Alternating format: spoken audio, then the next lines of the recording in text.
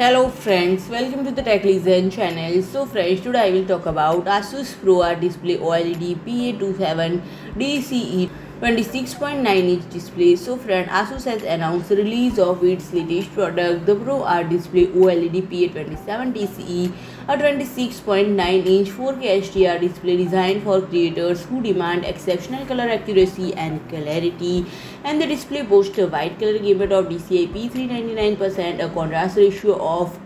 10 lakh gem 1 response time of 0.1 millisecond and product was showcased at the Computex Taipei 2022 event and when it comes with advanced features such as ProArt Color Center which ensure color accuracy of less than delta E1 and the color parameter calibration for multiple units and friend the ProArt calibration uses an internal scaler IC chip to adjust color calibration and uniform brightness setting uniformly adjust the brightness level across the display and the display also includes ASUS Smart HDR technology which support multiple HDR formats and the interface of the ProArt OLED PA27 DCE include